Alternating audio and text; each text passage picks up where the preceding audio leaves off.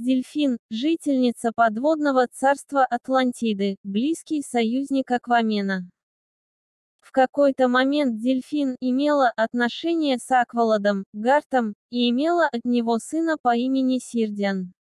Когда Сирдиан был ребенком, Атлантида подверглась нападению, и большая часть города была разрушена.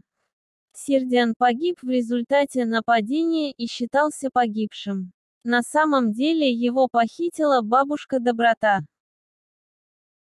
Некоторое время после правления тирана Курумрата, Дельфин жила в девятом триде Атлантиды, где обосновались многие бедные атлантицы. Дельфин была с группой друзей, когда солдаты Карума начали преследовать их. Тогда появился Аквамен, и спас их. Она сыграла ключевую роль в освобождении Атлантиды от тирана-правителя Кару Марата.